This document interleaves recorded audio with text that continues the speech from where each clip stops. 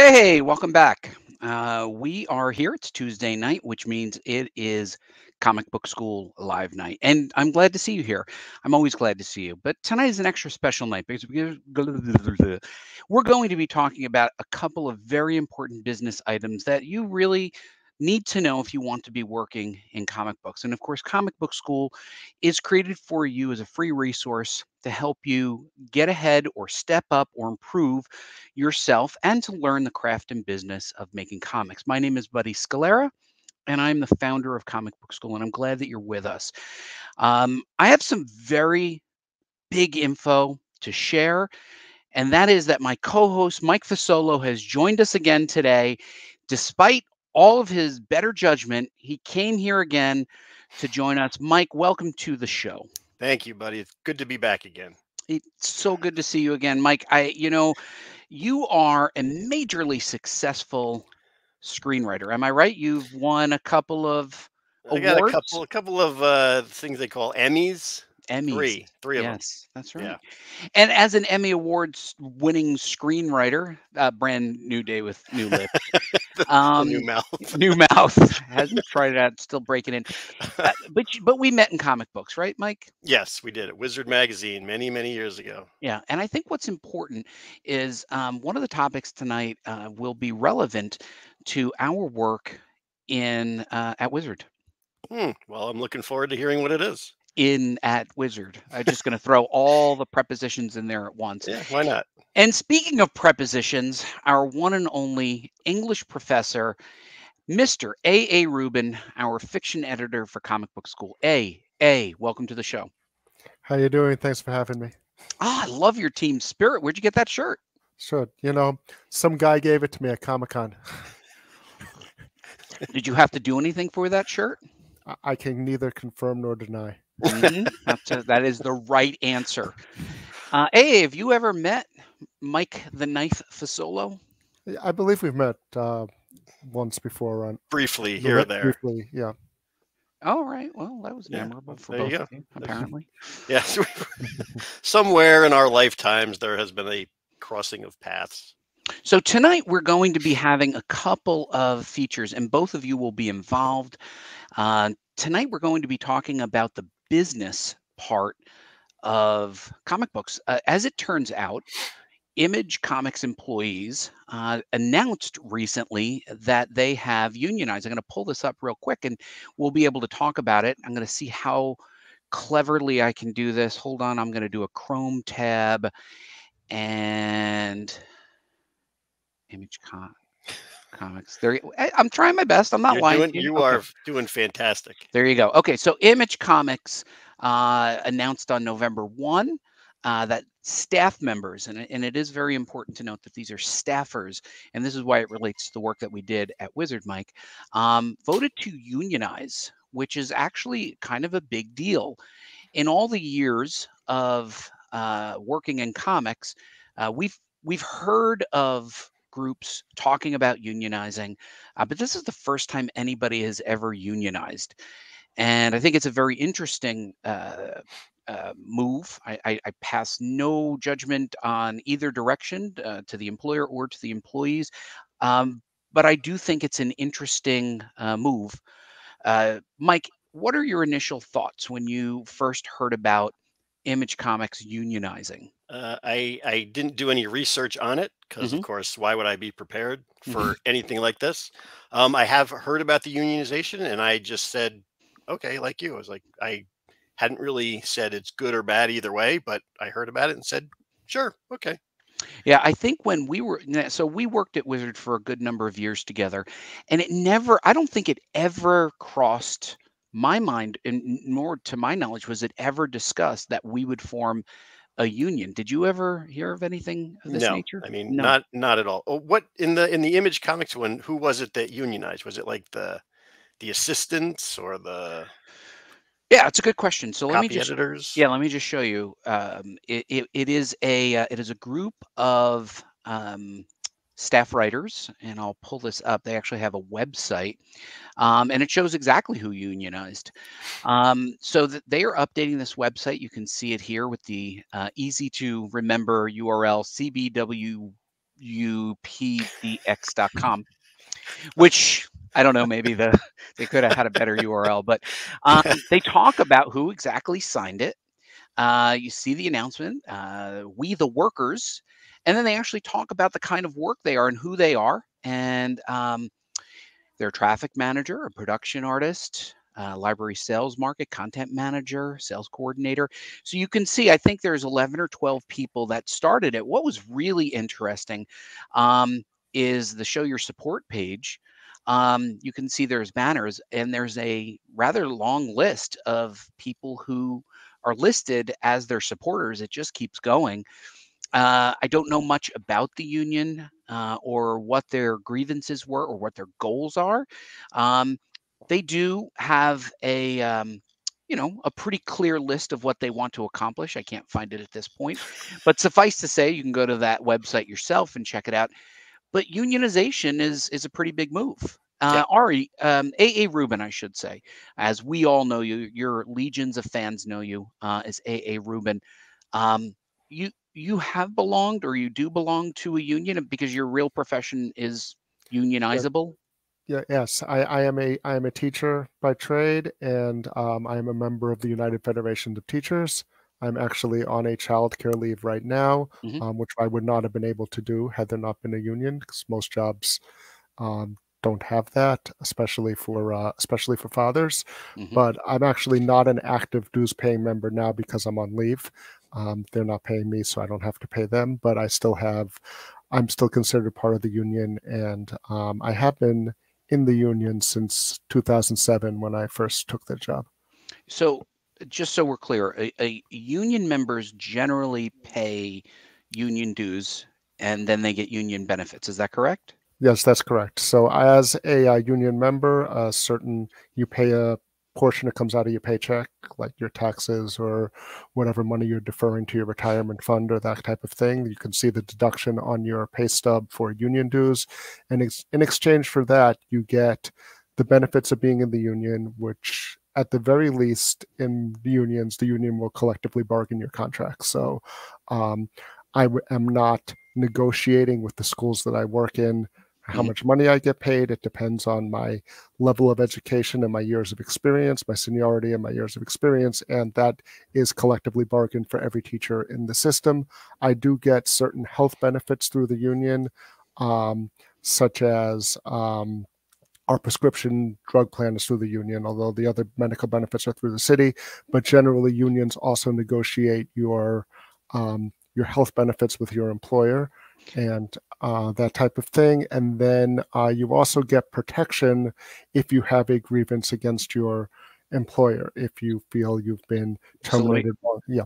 Yeah, let me pause you there. So, so people join a union uh, because they want to be collectively as a group, as what they would say a union, to uh, protect their interests. Um, and you know, I I don't know a, a, huge amount of unions. I did a little bit of research, um, not a lot because um, let's face it, it's a complex topic. Um, but you can learn more about unions um, at this website. Um, it's called Union Plus. Obviously, they have a, a positive perspective on unions, um, and they detail like what what unions do, how they work, and and it's actually quite interesting. Um, I started to read through it and got an understanding. I I, would imagine that compared to teachers unions and uh, other types of more established unions, uh, that the Image Comics Union is is rather small and probably just starting up. You you have to wonder if it will extend to office workers of other kinds for other companies and if they are already reaching out to those companies. Um, we have a message, we have a very active message board, and somebody had said that uh, freelancers cannot join unions. And Mike, you are an active freelancer, and I know that working in Hollywood, uh, there are quite a lot of unions. Uh, writers unions, directors unions. What's the function of unions uh, for those freelance uh, uh, groups of professionals? Well, I think for freelance, it's it's like you said, you can't really join in because it's it's not, um, you know, you're not a permanent part of them. Even though I, I guess you could even say that some of the writers, though, it would be kind of freelance all over the time or all over the place because you Mhm. are jumping in and out of different jobs. But I think it's mainly for you know if you're writing on a on a show that's uh, you know set and it's been going on for two or three seasons, then you can jump on and join the union. But if you're you know a freelancer, you're writing just a freelance one-off script, you wouldn't be able to to get in. Although for the Writers Guild, there are certain tiers that you have to hit to join the Writers Guild. You have to have so many, as they call them, units of production and shows that have gotten on the air and been produced. And it all depends on if you're animation or live action. It's it's a lot of. and does animation have a union? I, I know that you're mostly in animation. Yeah, they have right? the. I think it's the, uh, animation union, like the Cartoonists Guild or the Animation Guild or something. As you can see, I'm very well You're, you're right on top of it. um but like for for robot chicken we we don't have we're not involved in the in the writers guild Was the was the Lollipop Guild? Were they a union? Do you they are were? they, are one tier above us They were. and The yeah Lollipop Guild. everyone everyone actually wants to join the lollipop guild You know, I, from our uh, from our chat room, Vince uh, said Joe Shuster must be smiling down on us. I, I, you're probably right, Vince. I think he was one of the original uh, creators who may have advocated, I think, for uh, unionization. Oh, and uh, uh, our producer, uh, Redheaded Ed, uh, also known as D. Alley, uh, provided the Animation Guild link. Uh, I do want to show uh, one more link uh, because I think this is kind of important uh, for those of you who are considering a career in comics. Um, somebody had said you can't uh, be in a union if you are um, a freelancer. And yet, here I found something called freelancersunion.org. well Uh, and it's corrected. designed. You you sit corrected, and it's funny. Look, they're even using comic art. Um, it looks like Lichtenstein uh, type of art, and and it does talk a little bit about how freelancers can unionize. Um, again, you know, I freelanced uh, for many many years, and um, have been on staff for many many years, and I I was never approached to unionize but obviously you know things have evolved things have changed. The uh, the way we do business has changed. Um, aa when you think about uh, how you uh, have been part of the union as as a teacher is, is is every teacher part of the union or is it um, or is it uh, optional Well, 99.9% of teachers, probably more than that, are part of the union. The default is that you're part of the union. I think there technically is an option to opt out. I have never met anyone who has done so. Um, generally, teachers, at least in my um, my city, have good benefits, and people want to take advantage of that. That's one of the main draws of the job. you, know mike what, what i find great is that it was 99.9% and he goes maybe even more and i thought Yeah. he's Could an be English teacher. Yeah, he's an 0.99%. English teacher. I'm sorry, AA. So Yeah, you, no you- it- So, it- yes, I would say I would say everybody who I've ever worked with has been a part of it. I think there technically is an opt out if you want to, but um, but I've never met anyone who's taken advantage of that. yeah, when I was when I was working my way through uh, medical school, and uh, I, I actually worked construction, and I was a laborer, and there's a laborers union in the construction business. I ended up not opting to because I wa- I was mostly just summer help. But I, I did I did have some interactions with the union, and they did you know they had a, a, a- a steward, and they had people who uh, looked out for the union. So um, interesting stuff. I don't know where it will lead. This is a day by day update. You can follow the uh, new union. I'll share one more screen um, on Twitter. Uh, they have a Twitter account. Um, actually, not doing too bad considering they're they're less than a month old. Uh, Seven thousand two hundred and two followers. So, if you want to learn more about the union and what they're doing and the information that they're sharing and the news that they're making, uh, you can check them out on Twitter or at their website. I think the key thing uh, about this is that the comic book business is changing, uh, and the way we work is evolving. And and for those of us who are in the business, I think it will impact all of us. Uh, what say you, Mike Fasolo? i think uh, you said it all I did say it all. So we learn something new every day. And oh, Andy Siebert. Oh, uh, Mary M is on the teachers union as well. And oh, Andy Siebert. That's right. He's a teacher as well. You know, Siebert's a, a school teacher as well. Yes, yes, I know Right? that. Yeah, Siebert. He's Yeah. uh, the artist on uh, our very own creator-owned comic book, Midlife Crisis, something that Mike and I are currently going through uh, together. yes, I'm on the downward spiral. Yeah, when you when you age up a little bit, AA, you will also be on your midlife crisis. And A, Andy, by the way, hi, how are you? Um, you know, AA, the the reason we have you here, among many, uh, and because we adore you so much, uh, is that you went out and did an interview with uh, two creators from Ahoy Comics who were working on a comic book, and you asked them a little bit about their process. You want to tee up the video that we're about to show. Yep. So I spoke with uh, Mark Russell and Stuart Moore, 2 of the writers on Edgar Allan Poe's Snifter of Death from Ahoy Comics.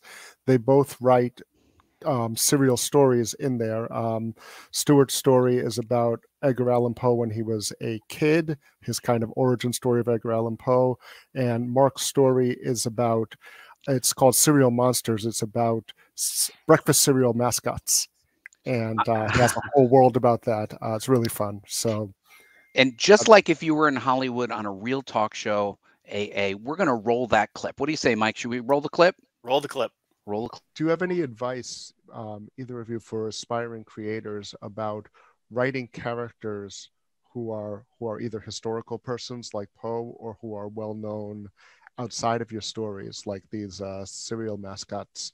How do you balance the authenticity with your own creativity? For me, I, I, I like to build when I'm writing about a uh, a story about a character that already exists. I like to think about the cultural equity that that character already has, and think about what it is that I that I like about that character. What about it that that people recognize about that character that means something to me, and then I build my sort of own take on them around that.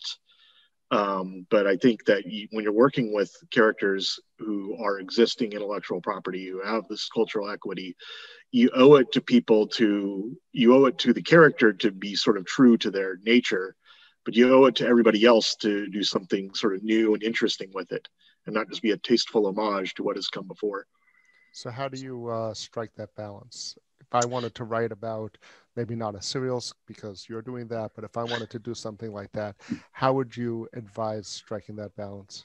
I usually what I do is I make a couple notes, uh, two or three notes about what it is about this character that I like that everybody else would recognize about that character. Things that I have in common with anybody else who is watching this character. And then I just build the rest of the story around those two or three things. And the rest of the story is going to be my innovation. It's going to be me coming up with the story that's never been told before, saying some things about that character and the world they live in that's never been said before. But as long as I start with those notes that anchor it in the the nature of that character i feel like i am th- there's a reason for that that's the story to be about that character and i'm kind of striking that balance between both honoring what's come before and bringing something new to the table And Stuart, with a historical character, especially one as well known as Poe, I imagine it's similar.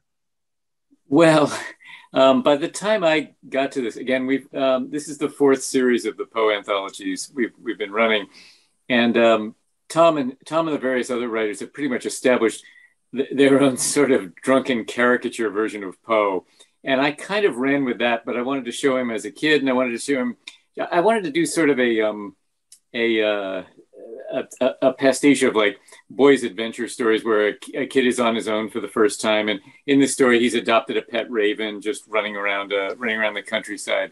Um, I didn't worry very much about. I, I did do some politi- some research just in terms of uh, uh, exactly what age, uh, when it would have been that Poe was this particular age, and what technological advancements did not did or did not exist.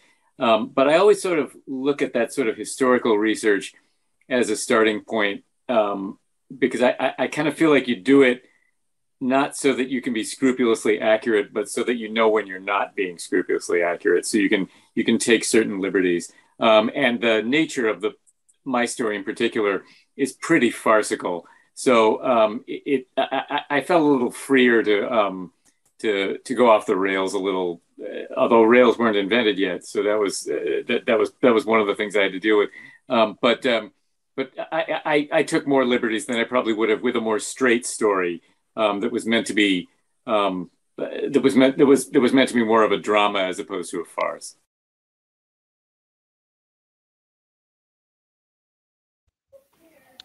Congratulations, AA. You've uh, you did a great job unpacking uh, their writerly approach, and it was uh, genuinely educational. Thanks for uh, interviewing uh, that team, and and also thanks to uh, Hanna and David for from Superfan Promotions for setting that up for us. So great job, AA. Um, but now we introduce a new segment to the show, guys. Something brand new that I didn't prepare you for. And the people here should be aware that you have no idea what's about to come. We have a new part of the show. And I will tell you that when I show this graphic, D. Alley, our graphic designer, will die a little bit inside uh, because I did do it myself. This is the CBS Live educational moment. You can see I actually put my very own clip art in there. And today's lesson is the language of comics. So you guys have not been prepped ahead of time. This is going to be a quiz, and people in the audience, you're allowed to answer. If you answer before our um, our our guests, you win a prize. I have no idea what that prize is. Um, are you ready? And and AA, if you know it, or Mike, if you know it, you just shout it out. You ready? Yep. This form of communication Wolverine. is. no, no. This form of communications is called not Wolverine. This form of communication. Oh my God! He knew the answer. Whoa! Did anybody get it in? Oh no! You, you won. Do I get the prize now? You get the. You get the. You get to keep that shirt. Well, there That's you go. Wolverine. That was Wolverine. It, the correct answer was onomatopoeia. How am I supposed to know what that is? It it is uh, it is essentially uh, using lettering to imitate a sound effect that you will recreate in your mind. So in your mind, your your snicked sound is very clear to you, uh, but using the word snicked for the sound snicked is called onomatopoeia. Mm. The word, the does, word sounds the word sounds like the uh, the word sounds like what it means is that's right. technical definition a a rubin rocking it. Great i should have been a teacher. Yeah well you could have we gotta I'll, I'll pull out the uh, dictionary of literary terms next time. Onomatopoeia. Onomatopoeia. So uh thanks for uh, participating tonight, AA Rubin. You rocked it. Two big segments. Uh, thank you so much. I'm going to put you back into the green room, AA Rubin. Everybody, round of applause for AA Rubin uh, for the great work he did, uh, and special thanks uh, to our writers for joining us tonight. So, Mike. Yes. We had a special guest. We had a, a we rolled a clip. We talked about a mature topic, and we even had an educational moment. It's actually starting to feel like a real show. Come on come on don't don't get ahead of yourself bud yeah and the and the and the and the chat room went crazy chat room went crazy. Yeah, somebody People, said uh, Philip Burnett said I was very close, and I was. Well, to Philip Burnett, you were close. He was like, you know what? He was like, it is Wolverine. It and is. That, it wasn't actually the wrong answer, to be fair. Um, but um, we have a part of the show that is scientifically proven to be the most awesome part of the show, and it is called Check This Out. And what makes it special is also the back teeth D. Alley's back teeth begin to grind and her molars are cracking because I designed these myself. I could ask for help, but I do not. No. Why no. why bother? No. So this week I'm I'm gonna go I'm gonna go first. Is that okay if I go first? Yes. Have at it. So in the movie theater is the movie Shang-Chi. Um, and I, I, am a big fan of these collected editions. And Shang-Chi appeared in uh, this Epic collection. This is Epic collection number one uh, that ranges from 1973 to 1975. The, the cool part of this is in the backup materials, they have all this cool educational stuff, all this neat collateral, foreign editions. And if you buy this, you get to read all the stories. Um, one of the things I really I really like is when they show you the um, the pencil art. This is actually the original art pencil art, show, and you can see along the edges are notes uh, about printing, uh, and I find that to be really interesting. And I feel like this is a great check this out uh, because it's in the movie theaters and it has educational value. Mike, I'm sensing a theme here of educational value on comic book school. Well, that will end with me. Well, good. so let's pull up the graphic again. Mike, what do you have for check this out? I have a uh, another um, uh, uh, Teen Titan. I didn't do I didn't do Teen Titans yet. This no, you haven't one. done Teen Titans. Uh, this is Teen Titans, a uh, trade um, of the future is now. It is called, and it, buddy, it ties into one of your favorite things: time travel. Oh my God! Yes, the Titans. They get they get sucked into the 31st century. You see the Legion of superheroes, and they get thrown back into the past, but it's into their future. So they meet the future Titans of what they become. It is it is and one of the best stories. in the audience here enjoys time travel stories. Everyone, feel free. now. feel free to shout out if you don't like. Oh, eh, look at that! But does it have an an ad for X-ray? Mine it, does. I don't know if mine. Superboy does. has X-ray specs. So yes, yes, you could. Now and and and um, and actually, this was this was uh, Philip who was who's adding a little bit of encouragement to you tonight. He's he's cheering behind you tonight. Yes, as everybody should. He's in your corner. Oh, who's, um, who's that? Glenn T. Gotilla. Glenn. I, ah, good. Glenn T. Gotilla. I'm sorry for saying your name incorrectly, but Glenn, I agree. I don't like time travel movies. I don't like time travel comics. I don't like time travel anything. You're missing out. I know I'm missing out, but you know what? Um, and and actually, you know Geoff Johns, right? I do know Geoff Johns personally. Yep, and yes. he's a comic book writer. He does screenwriting. Hold that one up again. I think eh, eh, I, I'm not a big fan of Teen Titans. I was when I was a teen. Uh, and they first came out. I will tell you that uh, I read that run. Uh, Mike McKone is a fantastic artist, and, and Geoff Johns did a really good job with that. Yeah, this um, is probably my favorite Titans group. Right. Oh, look at this. Mariam is calling me. And the time in, I didn't say it was the time travel in, it was called the time in. Uh, Marianne's reference is, of course, Mike, of the um, of the award-winning anthology. Do I have a picture of it here? I've never heard it, of it. It no, all right. Well, I wish I was able to pull it up quickly. I thought we had a, a picture of our award-winning anthology, uh, or soon to be another award-winning anthology, but but I don't but I do have onomatopoeia. That's that's all I got. That's all I got. Oh, and and I agree with Philip. You learn something new every day. Uh, some of us learn a lot of new things every day. So some of anyway, us don't learn anything. Some of us manage to not get that's through the day without me. knowing anything. Anyway, um, I think that's it for the show. If uh, people are enjoying the show, uh, they should. Oh, look at that! thank you so much for providing that. Um, let's see. Yep. Okay. There you go. Mm-hmm, uh, mm-hmm. There you go. All right. Look at that. I don't know. All what right. I don't know. What, I don't. They just keep things. popping up. I don't. I don't know. anyway, uh, if people are enjoying the show, they should click like and subscribe so they don't miss an episode. We promise to try harder each time to make the show more fulfilling. No. Yeah. Try. Yeah. Come on. Trying hard. That's that requires get, effort, bud. I gave this 10 minutes of preparation. That was that was good. That's even more. That's I'm even more. I'm impressed. Yeah. Um, oh, look at this. This is the anthology link. It's right there in the chat room if anybody wants to go and read it. It's a free download. So uh, thank you everybody for joining. I look forward to seeing you every week and um, and your comments are most welcome. Please uh, be sure to like, subscribe, and hit the little alert button. Uh, for Comic Book School, this is my good friend Mike the Knife Fasolo. I'm Buddy Scalera, Comic Book School founder, and we will see you next Tuesday because we own Tuesdays. Good night, everybody. Thank you.